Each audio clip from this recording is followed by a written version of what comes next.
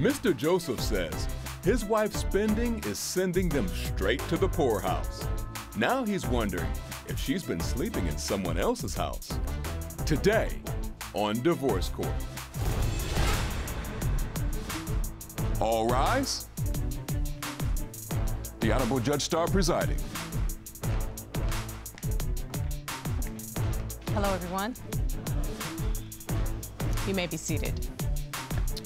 Your Honor, the case of Joseph v. Joseph. Thank you very much, Mr. Joseph and Mrs. Joseph. Thank you very much for being here in divorce court, and thank you for trusting us with your relationship, your marriage, in fact. Uh, welcome to divorce court. This is the case of Joseph versus Joseph. This is a married couple who've been together for 25 years. They were high school sweethearts. They've been married for 14 years, and they have seven children together. The stakes could not be any higher in this situation. So we're going to treat this marriage and this relationship with a tremendous amount of respect because there are kids involved and a long-standing relationship involved. Fair enough? Yes, ma'am. I'm coming straight to you, Mr. Joseph. Why are we in divorce court today? Well, Your Honor, uh, I'm bringing Nicole here today because she's been jeopardizing the finances and her um, parenting skills. Well, not the skills, but her parenting style mm-hmm. is quite askew and she questions my authority when I have the better parenting style. And then um, also, she's been showcasing some somewhat sneaky behavior. So I think that warrants a lie detector test, and I want to know what's going on. That would give me the closure I need. I already signed the papers, but I, I need to know what's going on. Mrs. Joseph, you heard your husband. What do you say, ma'am? I'm sad. It hurts me that I'm even here today. Yes, ma'am. There's a lot at stake here, Mr. Joseph. You're gonna have to take me back to when y'all were three years old because y'all been together since literally you were 14 and 15 years old. Am I correct? 15, 16, yes. Yes, ma'am. Tell me how you met. All right, so high school sweethearts. You know, school just started. I'm a sophomore. She's a freshman. So, you know, I was a player player back then. So, clocking the hotties coming in. She was one of them. And um, she played hard to get for a little bit, so I put some pressure on, but she finally acquiesced. We started going out. We was having a good time. Um, our favorite place to eat, which was, you know, our favorite place to eat, I'm not gonna say, but favorite place I wanna know. so we used to go to this place in Boston, Mass called Top of the Hub, which mm-hmm. is way up in the 52nd floor in the skyscraper, so you got the view and everything. And um. And you 16 playing like this? 16. I got rented the limo and everything on the um, anniversary. Mm -hmm. Like I wasn't playing. I wasn't playing. We, you see it work. We still here, here today. Seven kids. I, yeah. I, I I'm not gonna lie. I proposed at IHOP though. She said we was at IHOP. I didn't have no plan. I had the ring, but I have no plan. That right there impresses me more than top of the heap or whatever the heck it's called. Yeah, because yeah, IHOP, yeah. if you can get those real good pancakes, right? For sure, for sure. That's what I'm talking about. 25 years after you started dating, 14 years after you got married. Right, right. And you are seven children in. Yep. Yes, ma'am. But I understand this family has gone through some ups and some downs. Am I correct? Yes, Your Honor. Mr. Joseph, one of those horrible downs was a house fire. Am I correct? Yes, Your Honor. Why don't you tell me about that? So um, I had an overnight assignment at work that night, and um, regular night, get a phone call from Nicole around 3 a.m. Babe, the house is on fire. I'm outside with the fire department. I'm naked. And the kids, in, know, they, they didn't have any clothes, um, clothes on, just like night clothes, and she had on a robe. So um, they keep him warm in the car. The furnace exploded oh. right across from um, my two toddler sons' bedroom, blew the whole wall out. Yeah. Fortunately, she got them out before the explosion, but there was fire the coming out, out, out, Yeah, the second, there was first explosion. What is what alerted her when she was in the bathroom? Right, and so I came out when I heard that first explosion. At the time, I thought it was a gunshot. I, I said, "Did somebody break in?" I was really nervous. Again, I was alone, just with the children. Um, so when I came out the bathroom, I was conscious of, you know, in oh case it was an, an, intruder. Um, yes, those are the pictures that we submitted. Um, again, three in the morning, so everybody's asleep. Um, like he said, it was coming from the furnace right across from. Were the all the children home with you? Yes, ma'am. Two weren't. The oh. oldest wasn't because she's in college, and then um, the... another son that was at a gathering, a party. And this was just five months ago, and I have a six-month-old. So the baby baby was there. Yes, ma'am. So she was already born, and I had to pass the the furnace to get. Okay, so the fire exploded out the the linen closet, and it was trapping um, the the boys' room, their door. It was blow torching their bedroom fire. door. So um, I, I screamed, and the two oldest children came out into the hallway. So now we're separated from the fire. Um, the two oldest and I are on one side, and the fire and the, the toddlers and the baby are on the other side. Um, I told the two children to stand by the door, that I was going to make my way through the fire to get the children out, and we were going to, you know, escape. Um, the fire retracted back into the to the to the closet. It made a way that I was able to open the door, get the boys out of their room. I passed them on to the to the other children, and then I passed the furnace with the flames. I can feel the heat. I grabbed the newborn. Um, I we had to pass the furnace again, and in my mind, I'm like, it's gonna explode because it's in a it's a furnace. It's already on fire. The whole closet was on fire. Um, I, but we made it out. By the time we made it to the door, we heard another explosion. The walls shook, everything, um, and we flew down the stairs and we were able to get out of the house. You and five children. Yes, ma'am. Bravo, baby. Bravo. Bravo.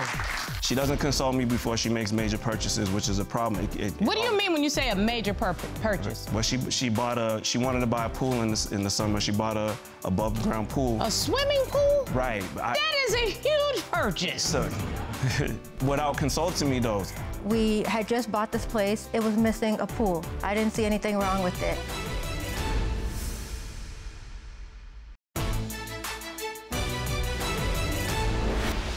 Things were a little bit rocky before the fire, but since then it really um, took had a tumultuous effect on. Mr. Joseph, I would think that that would bring you together very, very close. it- Why? Why? it- how did it tear you apart? It did because you know all the all the emotions, but at the same time we were displaced. So Yeah. she was in a hotel there, and then I was working like overtime to try to rebuild the finances so that we could move move past it.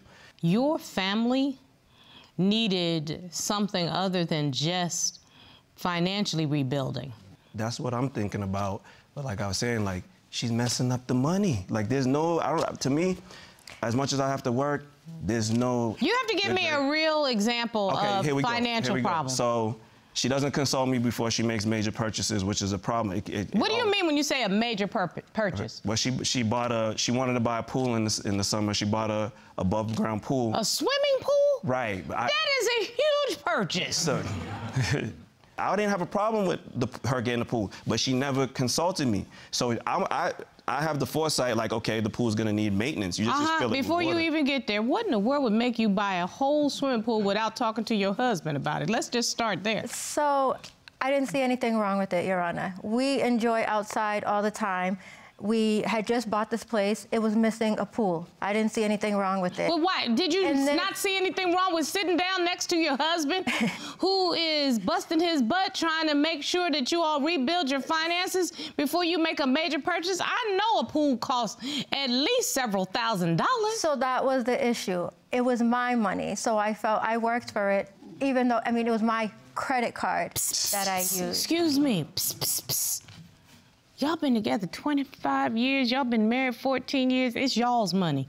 And trust and believe if you came before me in a court of law, that's what you'd be saying because you'd want him to be paying alimony and child support. You'd say that's our money because I was there with him as he was building that bank Yes, account. ma'am. So you can't pull the it's my money card when it's convenient. You oh. hear me, Miss Joseph? Your Honor, I, I am attentive and I communicate. She doesn't communicate. I get a call from her. Oh, I, well, we need to talk.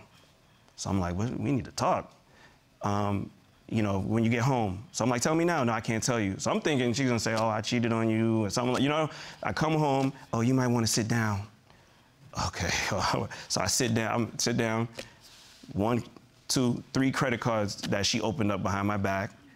And You didn't know anything about it. Nope, and they're all maxed out. Do you agree that those decisions that you made really did place yet another burden on Yes. your family? Hindsight, absolutely.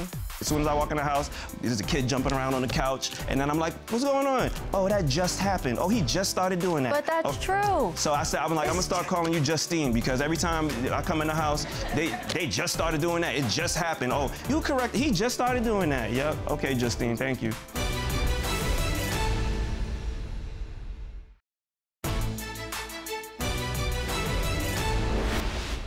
To hear about this parenting style issue. Give me an example of what's been going on. So, um, I, one of the rules is the cell phones, like, the, limit the use to what's necessary. I don't want them to have them when they come home from school because they have work to do. She you agree agreed, with that, but- Miss Joseph, that there was a cell phone rule? Yes, you are. and a certain time before bed. Like it's almost time when they need to get in the shower, get re- you know, get ready for bed.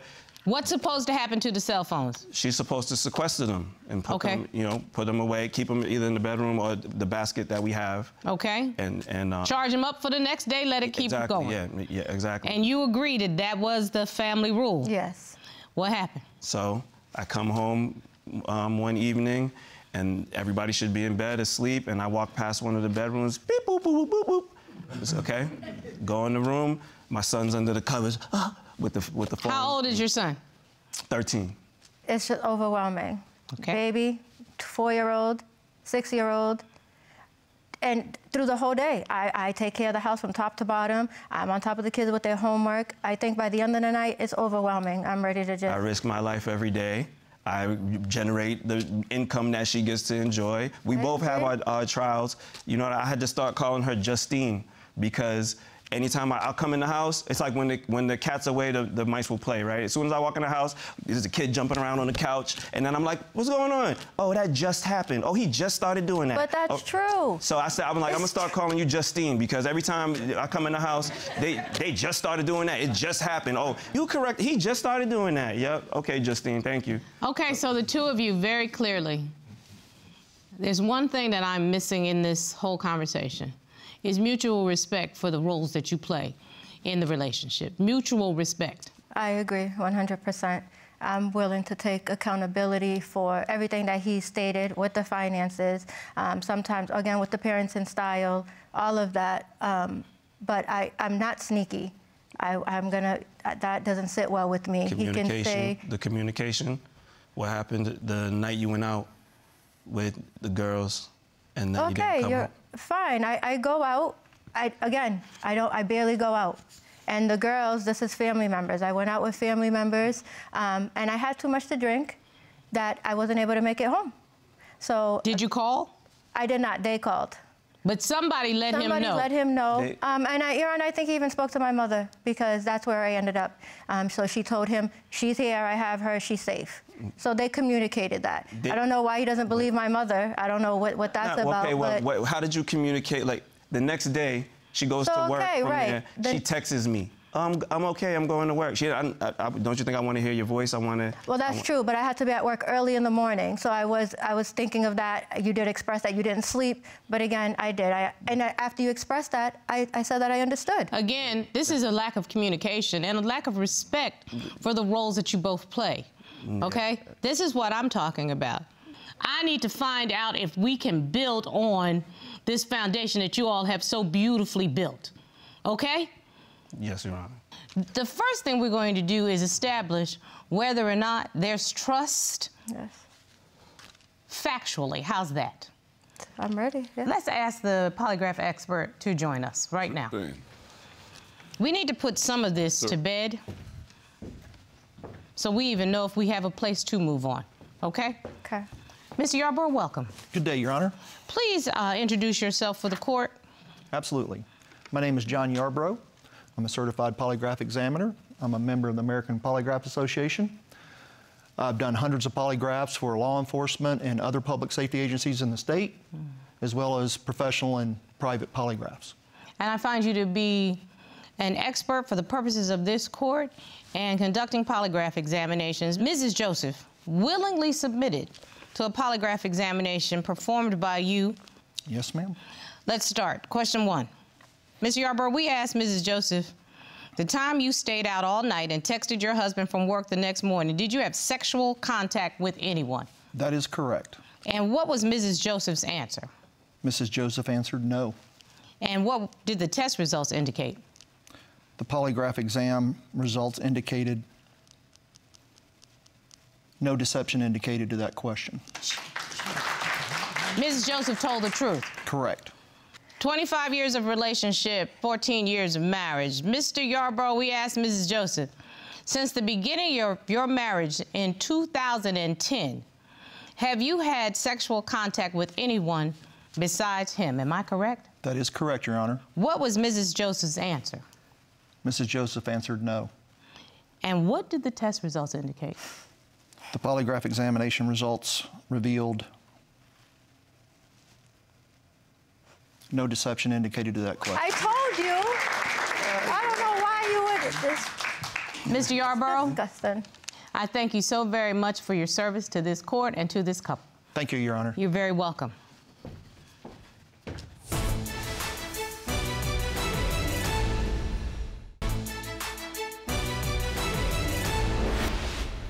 Mr. Joseph, if you don't turn to your wife and apologize to her right now, right now, this jury and I are gonna have a major problem with you right now. Nicole, I apologize. Uh, it was pathetic from the bottom of my heart that um, that I, you know, I apologize that I even thought that you might have some um, deceitful um, inclinations. I truly apologize, and I, I'd like you to forgive me for thinking that way. I'll try my best not to um, have those type of thoughts ever again. Okay, I forgive you, but you hurt me. Because it was a, a lot of pressure. Excuse me, Corey. You don't get to comfort this man's wife. You comfort your own wife, Mr. Joseph. Go over there and stand next to your wife. You can hand her tissues. Thank you. Get away from that man's wife, Corey. Sorry. Stand there next to your wife, Mr. Joseph. I'm Sorry. I'm sorry about that. It's okay. I apologize for that. Thank you. Mm-hmm. I'd like to offer you marriage counseling in your hometown. I don't want you to have to travel anywhere. I want to make it as convenient as possible. So we've been in contact with Quintessential Wellness Solutions Therapy Practice. It handles family and couples counseling who deal with stress, anxiety, PTSD, and depression, all of which could have come out of that tragic fire that you all dealt with and you never dealt with. And um, you have those divorce papers there in your hands? Yes. I need to uh, see what you're about to do with them. If I may, I'm gonna just.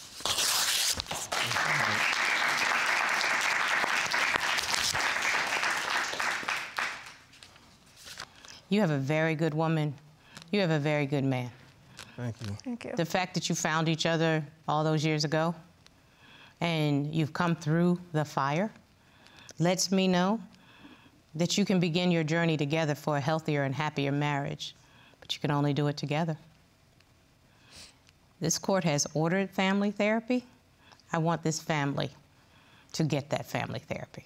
More Thank you. importantly, I'd like to get the announcement of the next baby because you know y'all can't keep your hands off each other.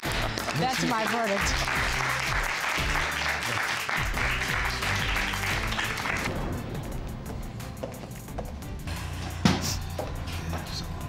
Sorry. Really sorry. It really made me sad, I'm sorry about that. but I know that we can get through it. Yeah. That's what I want. Well, We've been through you. a lot. I love you